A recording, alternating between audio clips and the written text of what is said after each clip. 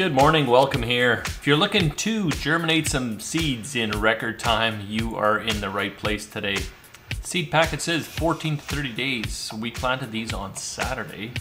Uh, the time I took this video, it's Tuesday, and we're publishing it now on a Wednesday. The uh, other side effect of this is your germination results or your rates of uh, seeds that are going to be usable is much higher. First thing that you're gonna need is you're gonna need a couple of these just regular grow trays. Once you have two of these puppies, you're gonna need to puncture a hole in the bottom corner of it in the same place that your heat mat. And what you do with the sensor wire, you can see it on the left-hand side here. Just tape it about midway up to your tray. I've also taken the box where the controller wire came in, cut it up and put it on the bottom and I find this helps to just dissipate the heat a little bit so it's more consistent. Um, the temperature remains more consistent inside. For the controller, I'm using the Inkbird, uh, and I'll leave a link to all this stuff uh, down below, so if you guys are not sure where to get these parts. And I've set the temperature at 25.5 degrees Celsius, or if you're a Fahrenheit person, 78 degrees Fahrenheit is the temp that you want, and then change the range to make it as tight as possible to keep it as close to that temp. In the picture here you can see it's 27.4, got some bright sunshine coming in the window and that's totally fine, don't, don't panic if that's happening to you. Now the method that I choose to, to germinate is the paper towel method and all that is is you take a paper towel, put the seeds down, and just make it moist. It doesn't have to be sopping, none of that, and chuck it inside a Ziploc bag. Close that thing up, and uh, the perk of this is, if you only have it one layer folded over like I'm doing here, you can actually hold these things up to the grow lights, like so, and you can see if you've got little green specks, you know the seeds have popped and they're ready to get out of there. Great, so now you got your seeds germinated in record time. What do you do now? I'll take a tray with uh, a bunch of cups, set that up, and use whatever kind of media that you want. And the, key to getting this to continue on growing that quick is to make sure that you moisten your media, whatever that happens to be. I'd recommend the uh, Pro Mix. It's what I've used and I've had great success with it for it. Sometimes I'm using perlite for my hydroponics, but whatever you do with the media, just uh, put it into a container and moisten it up. It should be moist, it should not be saturated.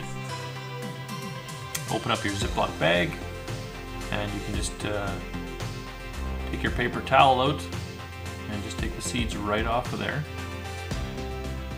and pop them down into your grow media.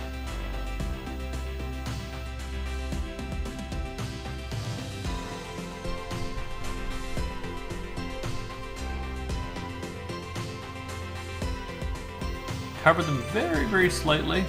You should still be able to see the green part of the seed.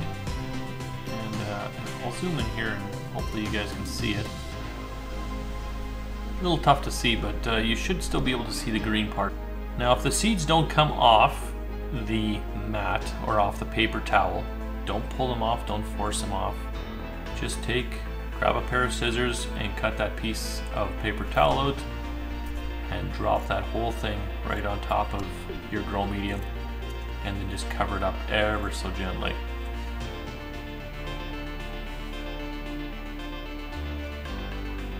The root will find its way down, there's no worries there.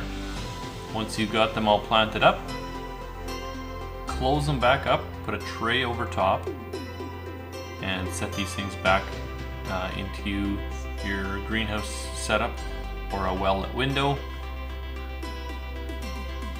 keep the plants underneath this until you have the first set of leaves is out or until they're a little bit above the soil. In the case of this, these are actually cactus seeds that I've got going on here. So once they're a little bit above the soil, pop the container off. Sooner is better if you're not sure, as long as you know that the seed was not going to dry out. Moist is the key. The root will find its way down to the moisture. Keep that in mind. Too wet is bad. Too dry is bad too, I guess. A good way to tell if you've got uh, enough moisture in the cup is just to lift the cup. There should be a little weight to it that you can feel if there's moisture in it. If there is, it's fine. For those of you that are going to build this contraption and uh, use it, make sure you let me know if you love it or if you hate it. I'd like to know either way.